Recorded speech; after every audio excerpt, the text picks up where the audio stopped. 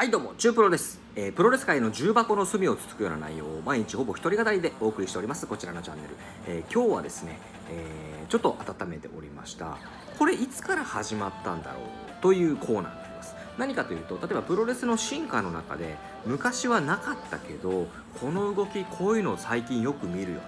だけどこれっていつから始まったんだろうな。っていうようなそういう内容ですね。お送りしていきたいと思います。で1回目の今日はですねこちらでございます。はい、えートップロープからの攻撃がうまくいかん時に、えー前回り受け身で、えー体勢を立て直す。やつ これ分かりますかね？分かりにくいかな？一応ちょっと分かりにくいかもしれない。ジェイクさんに出てきてもらいます。ジェイクさんはトップロープから飛びませんけどもジェイクさんに出てきてもらいますね。でジェイクさんがですねまずこうトップロープに登っていて例えばここからですねそうですね今だと、えーまあ、回転技ひねり系の回転技から、まあ、あのファイヤーバードとかですね。ファイヤーバードにしましょう。ファイヤーバード絶対できませんけどファイヤーバードスプラッシュをします。昔だったらこのままバーンとあの自爆した相手が避けたら自爆という形になります。ところが今はですね相手が避けた時にこのままこう落ちるんじゃなくてこのまま、まあ、ファイヤーバードからこう回っていった時にこのまま半前回り受け身でくるっとこう回って立ち上がって回って反撃みたいなのありますよね。わかりますよね。あのーこれいつからできたんだろうっていうふうにすごく思うんですよ。あのとてもあの現代版のその間のないプロレス、あのーまあ、大技を次から次に流れるように連携で決めていく。まさに現代のプロレスの進化のなせる技だなというふうには思っているんですけども。それまではねもうトップロープから、あのー飛んで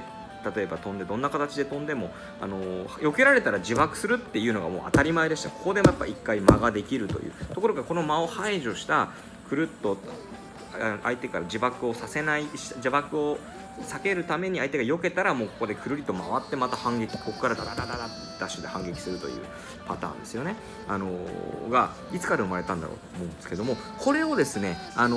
世の中にテレビなどを通じて印象付けたのは間違いなく井渕選手ですね。もう間違いないです。井渕選手はこの回転系の技をあの相手が寝てる状態でも立ってる状態でもどちらにしてもひねり回転系の技を繰り出します。で特に立ってる時に関しては相手の動きが読めるわけですからあの相手が避けたりとかする時にあのこのくるりと回転半前回り受け身を取ってあの体勢を体勢を整え直してねあのまた攻撃に移るというパターンはもうあの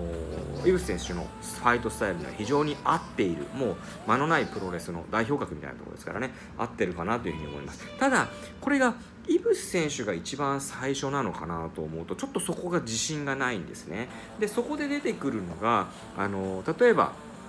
ファイヤーバード。あるいは、えー、とシューティングスターそして、えー、とフェニックスフラッシュと言われた結構あの縦回転あるいはひねり回転が加わっている技を、えー頻繁にたくさん使うようになっていった選手といえば、えーはやぶさ選手じゃないかと思うんですよね。はやぶさ選手はなんかファイヤーバードとかで肘をガンガン打ってた記憶があるんですけどもこの辺のことをやっていたかなっていうとちょっと記憶にあまりないんですがひょっとしたら少し最初のあの最後の方とかに少しやっていたかもしれません。この辺のあの流れというのがちょっとどうだったかちょっと覚えてないのでもし覚えてる方いたら教えていただきたいなというふうに思います。それから、まあ、井渕選手がこれを広めたことは間違いないですけどもそこの、えー何からその得た得たのかというのは自分の完全なオリジナルなのかそれともそうじゃないのかっていう時にちょっとここもはっきりしませんが例えば TNA で行われていた X ディビジョンですね。つまりその次世代系のプロレスをあのやっているあのスタイルですよね。例えば今で言うと AJ スタイルとかあるいはクリストファー・ダニエルズ、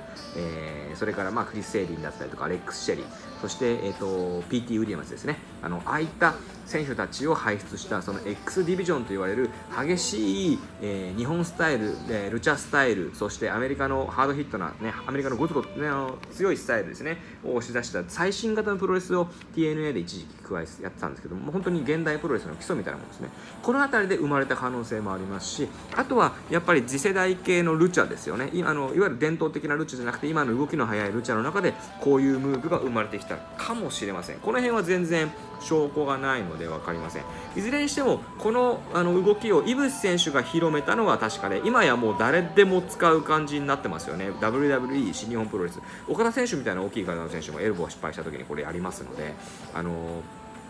それを見ていると本当にこれが浸透しているのと同時にあのプロレスにおいてどんどんやっぱり間がちょっとなくなってきてるんだなというのは感じます。まあ、それが別にいいか悪いかは別として全然進化進歩なのでそれはそれでありだと思うしだからこそ間のあるプロレスというのがすごくあの味わい深いものになってるんだろうなというふうに思ったりしています。というわけで、えー、皆さんもしちょっと一番最初この辺りで見たことあるよということが分かりましたら、えー、コメント欄のとこに書いてもらえるととても嬉しいかなと思います。はいというわけで今日はね、えー、トップロープから、え相手に攻撃を仕掛けて自爆しそうになった時にくるりと前回り受け身をして